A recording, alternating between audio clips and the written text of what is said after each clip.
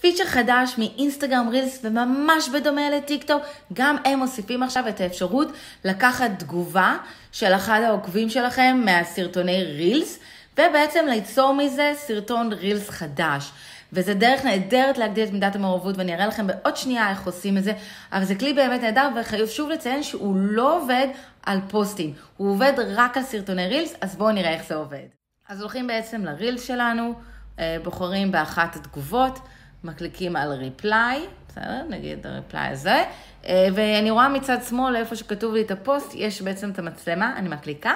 ומגיעה לחלון הזה, שממנו בעצם אני יכולה להקליט את הרילס, אני יכולה להזיז את התגובה לאיזה כיוון שאני רוצה, לאיפה שלשים את זה, וזה כלי נהדר בעצם להשתמש בלהגיד אפילו, תודה, איזה כיף שזה מה שאת חושבת, אהבתי את התגובה הזאת, אז זה דרך בעצם ליצור קשר, זה דרך לענות על שאלות, ובעצם לשפר את מידת המעורבות אה, בעמוד שלכם, אז תשתמשו בזה, זה כלי נהדר וזה גם מגדיל חשיפה.